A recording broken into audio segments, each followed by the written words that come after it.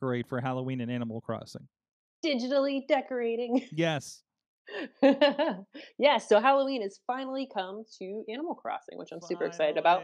There was there was an update and then everything launched on October 1st. Mhm. So some of the fun things you can do is you can change your skin and hair color or skin and eye color to, you know, something a little more ghoulish, whites and greens and pinks. You could be a witch or a creepy zombie or other sorts of critters. Uh, they have a bunch of costumes uh, that'll keep showing up in the store and um, that you're able to get and, and kind of pick out your own outfit. And also uh, pumpkins. Pumpkins are the big thing. Um, they, they come in four different colors uh, orange, yellow, orange, green, and white. And obviously, the orange are the most common ones. But you can plant them like any other thing, and uh, you have pumpkins. And then I, I have several fields of pumpkins organized by color because I know I have a niece that will come and raid my pumpkin stash. And uh, so, yeah, so I got those all ready to go. And then there's a bunch of new recipes for spooky things like jack o' lanterns and jack o' lantern tables. And spooky, spooky, spooky is the big word spooky. Is it wait wait what is this? There's a haunt.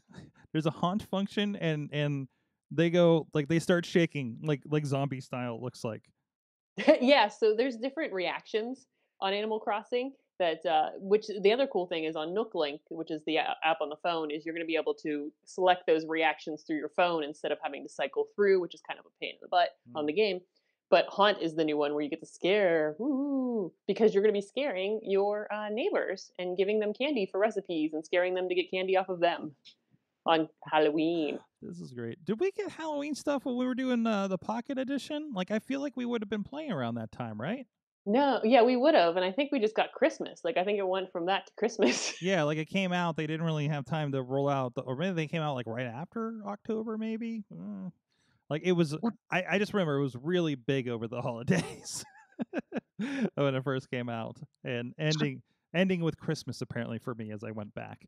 So yeah, same. yeah, yeah. I'm just like this Christmas tree's still up, and it's been there for like a year and a half. Huh? Huh? Oh, okay. All right.